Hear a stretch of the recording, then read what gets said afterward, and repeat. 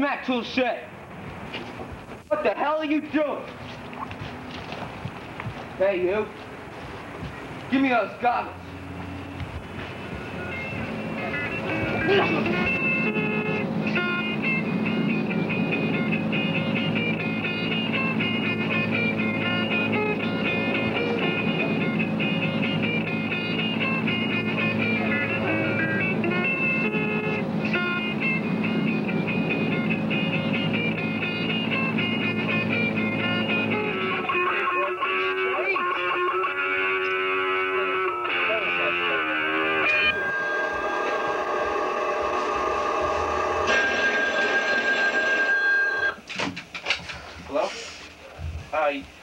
Yeah, I checked the children. Thanks a lot.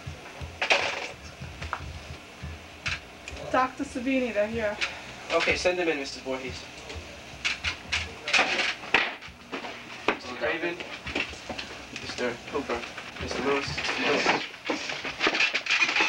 All right, fill us in. One of our most dangerous inmates has escaped from Ward 3, which, as you know, has our tightest security.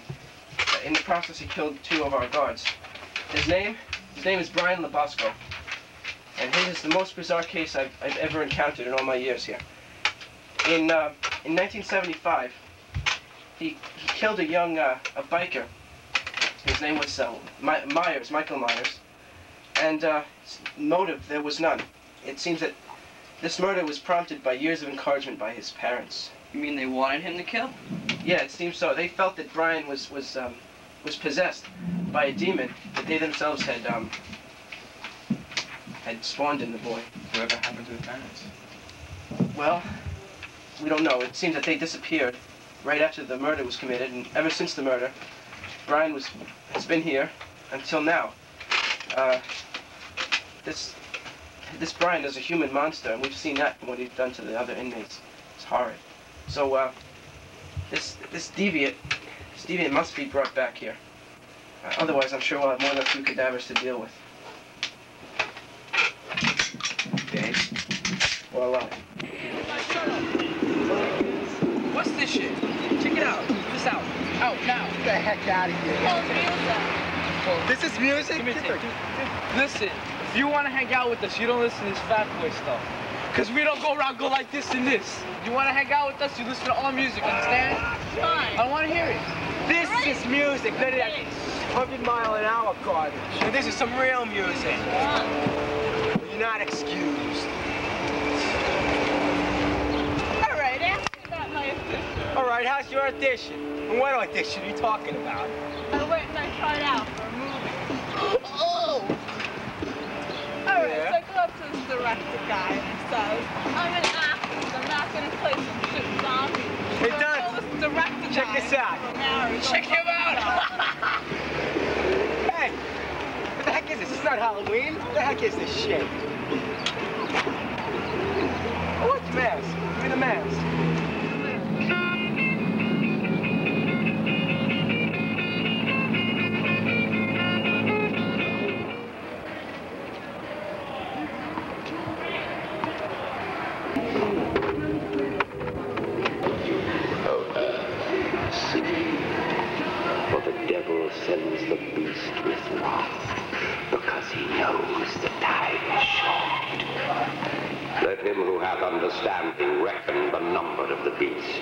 For it is a human number. Its number is 666.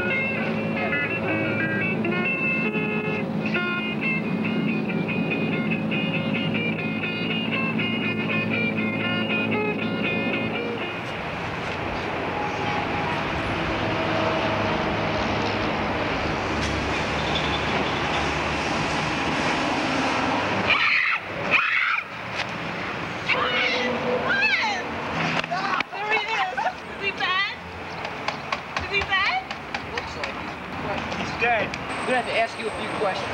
Yeah, I heard about this place that was escaping, and I figured it'd be the, the best place to call. Like, uh, have you seen any suspicious looking characters? Yeah, I saw this tall guy with the black ski mask and ripped clothes. I didn't think much of it at the time. Must be Brian. It's got to be. Am I gonna be on TV? I hope Dr. Savini doesn't mind us going through his things. Yeah. What the hell does he care? Look at this, guys. Satanism and witchcraft. Exorcism and 12 easy lessons. Satanism and you. I'm okay. You're possessed by Satan. And, of course, demonology. You have to have a book like Check that. this one. You think that, that's ridiculous. You think Dr. Savini's onto something? Could be. Wait, wait, wait. You guys, listen up. Listen, this is this is the doctor's journal.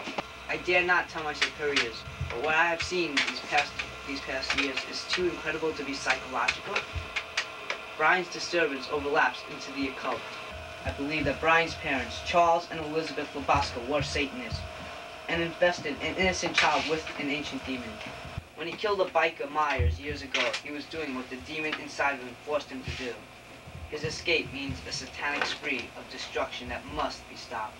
At this time, I fear for my own life. Guys, look at this over here. He's plotting out all the killings. This is the handball incident where the kid was killed. Over here is where the kid was killed under the car. Oh, this must be the pentagram of the decapitation. Yeah, right there. That's where it happened. so this is... The fourth and the fifth.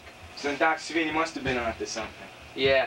We gotta go over to the fourth point and, you know, save the next person or whatever. Alright, I mean, you guys, here, come on. let's Alright. go. You